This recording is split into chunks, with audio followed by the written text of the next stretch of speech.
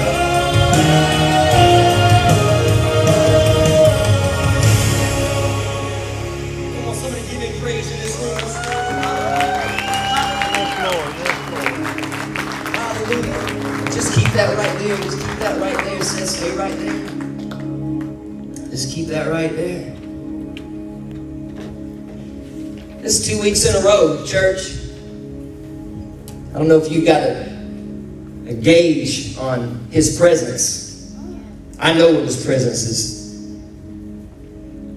surrounding me. And I also understand and recognize when my flesh surrounds me more. It's not that my flesh is greater than God and it pushes him out, but my choice to do it my way versus his way. Because he's a perfect gentleman. The Holy Spirit will not show up in a place he's not welcome. I don't know about you, but I want him present in every area of my life. Come on, somebody. I want the Holy Spirit of God. I want the presence of I want the presence of the Most High God surrounding me all the days of my life. Amen. Amen. Somebody say, and so do I. And so do I. Don't say it unless you mean it. Say, so do I. So do I. Man, we had a phenomenal service last week. Huh? Yeah. Monday morning, I've never done drugs. I don't know what that's like. Just stay standing. I'll have you sit in a minute. You get to sit for the rest of the service, and I'll stand. How about that? I, I've never been addicted to drugs, but I've heard stories about you stay on a high and then you come down, right? Well, I, I woke up Monday morning still on that high. Because there's no high like a high that the Most High can provide. Come on. Got in my car to start my day. Y'all know me and that car, we got this love-hate relationship, huh? Yes, we do. Sucker was spittering and sputtering. I bypassed the location I was headed to and just went straight to Tri-County what's it called? Somebody, I'm trying to give the brother a plug here. Transmission. Transmission. I was going to say collision. It was going to be a collision, I'm just telling you. And my flesh was wanting to get out and just blow that thing up. But that's how, that's how the enemy works. And I just walked in. The guy, I turned my car off. The guys come out the garage and said, start that back up. I was like, I don't even know if it will. and I did. And I turned it back off and I walked in the cold, handed the keys. I said, just let me know when it's done. Now, those who've been here and heard the last time that happened, I'll let my flesh get the best of me. Huh?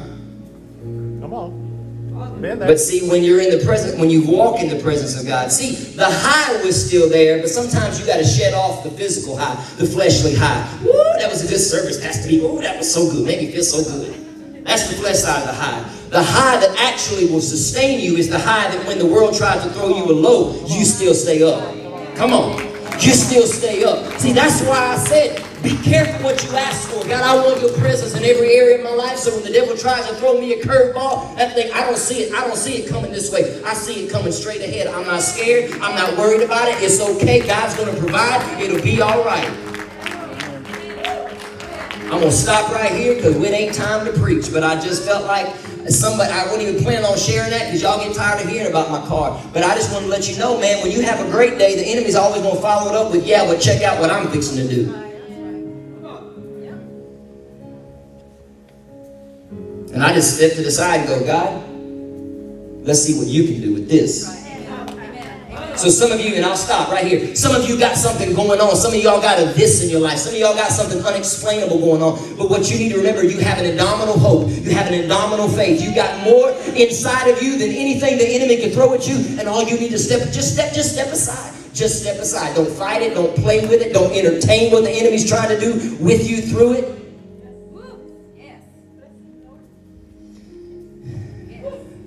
You can be seated.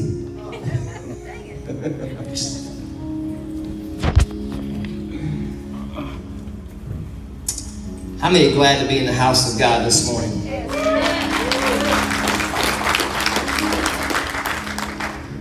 Somebody say, why did you cut it off?